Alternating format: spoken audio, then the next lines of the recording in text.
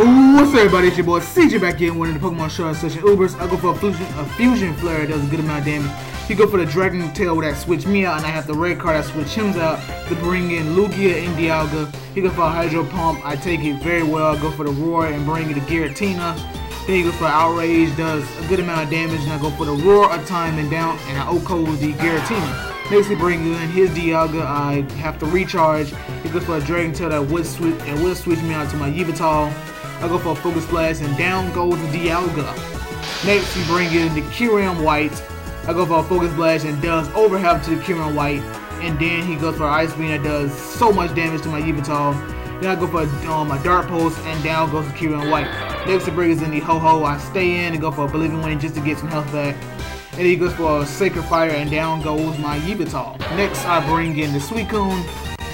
He go for a Brave Bird that does a good amount of damage. And then I go for a Surf that almost takes down the Ho-Ho, Ho-Oh. And then he has a Figy Berry, which I never seen before. I never seen before. He goes for a Brave Bird, and then I go for a Surf, and down goes the Ho-Oh.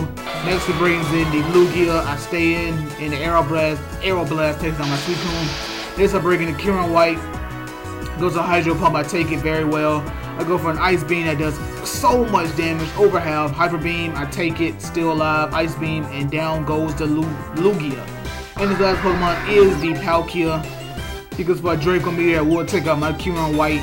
Next, I bring in my um Dialga that's only at 8%.